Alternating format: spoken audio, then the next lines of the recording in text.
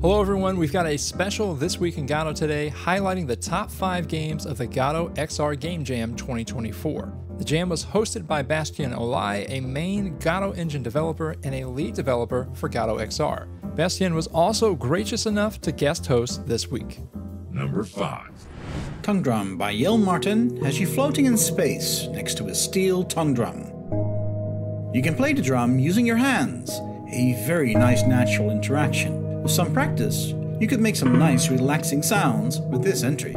Number 4 Lazy Farmer by Decasses is a cute farming game where you can instruct your farmer whether to grow crops or pick up eggs by picking the farmers up with your hands and dropping them where you need them.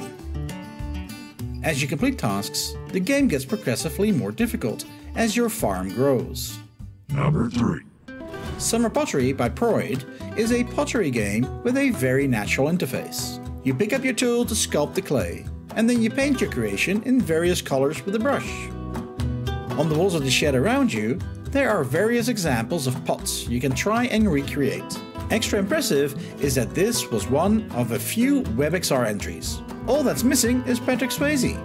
Number 2 Constellation Coach by David Snowpack, Logan Lang, and Michael Shatton was one of two similarly themed entries that has you stargazing. You need to pick up each constellation from the table in front of you and find it in the night sky. Once you match it, including getting the rotation right, the constellation reveals itself. This game makes excellent use of haptics, giving you more feedback the closer you are. Once you find all 8 constellations, you are treated to a fireworks display.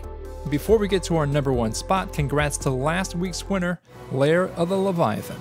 Be sure to vote for your favorite to have them featured in our new Godot Game of the Awards at the end of the year. Last week, over 172 of you voted for your favorite Godot game. I'd love to know what more of you think, so let's try to pump that up to over 200 this week. And a reminder just because a game doesn't win their week doesn't mean they can't appear in the awards.